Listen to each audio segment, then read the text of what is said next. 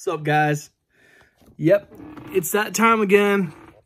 Time for another book review. Yep, today we are reviewing Darkness on the Edge of Town. Now, I have this book. I own this book. Upstairs, I have the paperback.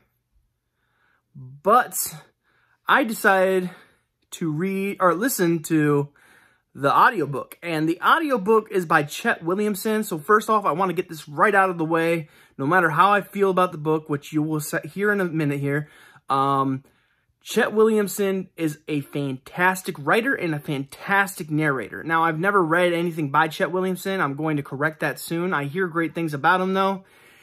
And his narration skills are just off the charts. Uh, his characters are great. Um, I enjoyed it a lot. He did a phenomenal job. Now, uh, I give the narration five stars. Now, um, first I'm going to read you the synopsis, then I'll read you my written review, then we will talk about the book a little bit. So are you ready to delve into it? I know I am.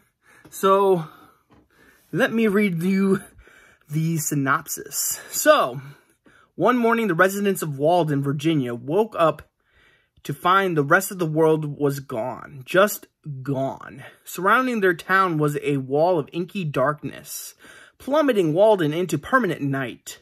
Nothing can get in, not light, not people, not even electricity, radio, TV, internet, food, or water. Hmm. And nothing can get out. Hmm. Hmm. Mm-hmm. No, one who dared to penetrate the mysterious barrier has ever been seen again, only that their screams were heard. But for some, the darkness is not the worst of their fears. Driven mad by thirst, hunger, and perpetual night, the residents of Walden are ready to explode. The last few sane prisoners of this small town must prepare a final stand against their neighbors, themselves, and something even worse, something out there in the darkness. Sorry, I didn't realize I pointed the camera straight at my mouth, so I apologize for that. Um, so now we will read my, uh, well, if I can find it, my written review. Uh, let me see here. Here it is. So here we go. I've only read two Keen books, but this is by far my favorite. Robbie, our narrator, is stuck in a town that has been surrounded by darkness. The world seems to be devoured by the darkness, and Robbie and, his, and company are trying to figure out what exactly the darkness is. This book is full of great scenes, and I absolutely loved it. I was a little weary to read this one, since the last Keene book wasn't my favorite book ever, Ghoul. But this book definitely delivered. This book is like, excuse me, again, drinking milk like crazy, dog. It's good for the bones, I hear. Probably not. It's probably not good for you. Um, who knows? But anyways, uh, uh back to the review. um, this book is like Stephen King's The Mist, except that was that story was shorter, and this one hits harder than that. Not saying The Mist is a bad story, no, far from that. The Mist is a favorite of mine, but I just think this one hits harder than Stephen King's epic tale. The characters in this were amazing, and I just had a blast with this one. Also, the narration was solid. Chet Williamson did a superb job. I'm giving this book five stars. It was that good. Now, I know I might get some hate for this because uh, I already am looking at some of other people's reviews. And I, I even saw one of my friends didn't like this book at all. Um, one of my friends, not going to name names, Jay Maddox, uh, gave it two stars. So, um, I think that's crazy. Um, this is like a really good book. Now, everyone's entitled to their own opinion, so don't attack Jay for not liking this book. Of course, his review came from 2018, and I'm sure that he's blossomed more, and maybe he, if you read, read it, he would like it. I doubt it, because it seemed like he really didn't like it. But, um, yeah, Um, I don't mean to dog on anyone's review. I just, I just wanted to say that some people did not like this book and it's generated, I think at, uh, 3.65 at, for average rating for stars. Let me check. Yeah, 3.65 for rating and it has, uh, hey, Lula, you gotta shut up, girl. Lula, I'm in the middle of a video. Hold on one second. She's done barking now, so I think I can, uh, continue with this review. Um, thank you, Lula. Um, so like I was saying, this book this book has a review rating of 3.65 and it has 3,361 ratings and 312 reviews. So, yeah, I don't understand the hate for this book. Um, I really liked this book. Um, this book was really good in my opinion. Um, like I said, it was like The Mist if The Mist was different. Um, and, and, and by different, I mean different perspective, different, like, um, like different story. It's like the same premise, but a different story. You know what I'm saying? And it was really good. I liked it a lot. Um, Darkness on the Edge of Town. I keep saying at the end of town, at the edge of town, but it's on the edge of town. So I, I gotta keep I got to remember to say it correctly. Um, don't know if I said it correctly in the beginning of the video, but anyways, um, yeah, I give this book five stars. It was easily one of my favorite Brian Keene books. Uh, the only other Keene I read was Ghoul, and honestly, not my favorite coming-of-age tale. It just kind of was bland to me. It just feel, felt like a throwaway coming-of-age tale. Like, I felt like it had promise, but then it just fell flat for me. It felt like it was trying to give this kid an unbelievable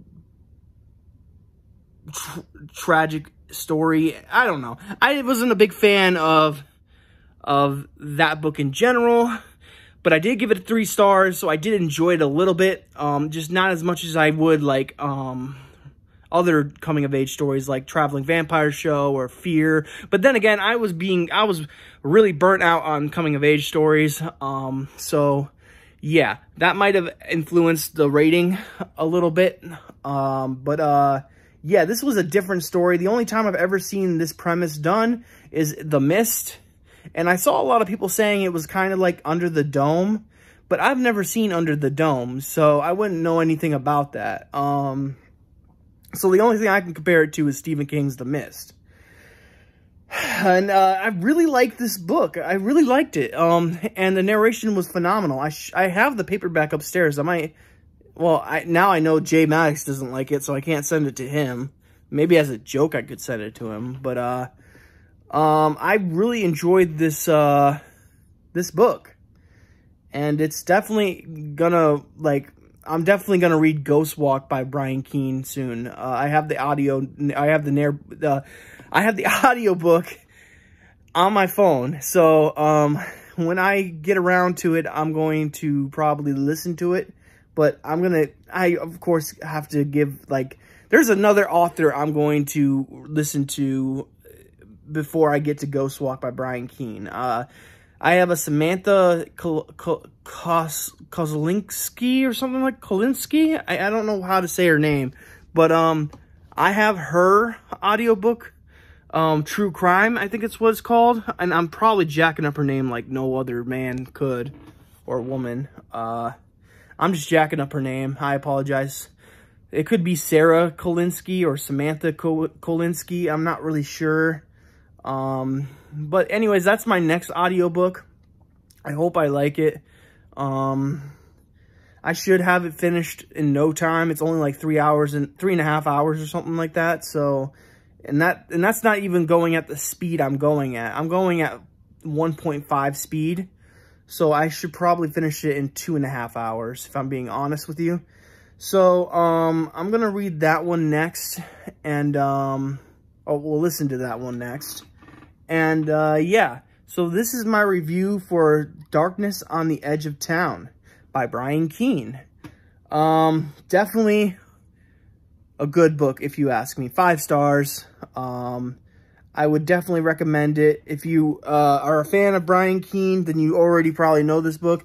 I don't know where this stands for uh, Brian Keene fans, uh, this definitely was a book I adore. I, I enjoyed. Um, I liked the main character a lot. Um, and he wasn't like, he was a little flawed, you know? I mean, mostly it was because of the darkness, but, um, that's here nor there. Um, Dez was a good character. I, I didn't even get to talk about some of the characters. Dez, Russ, uh, what was the girl's name? Oh my gosh, I'm just going to call her, uh, Robbie's girlfriend. And then, uh, Robbie, of course, is the main character. Cram Cramston, I think, was the other guy. I, I couldn't, I didn't really care about for him.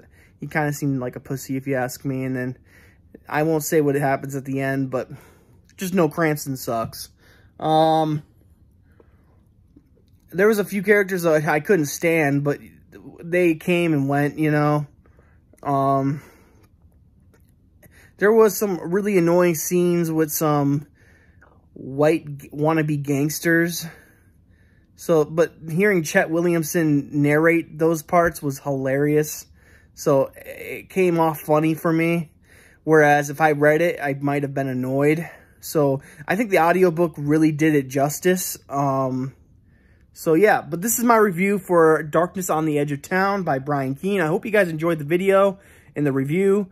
I hope you guys are having a great day and a spooky night, and I'll catch you in the next video. Now, uh, I think Coffin Couch starts in 30 minutes, so I'm going to be doing, uh, I'll be preparing for that. So, yeah, go check out Coffin Couch tonight.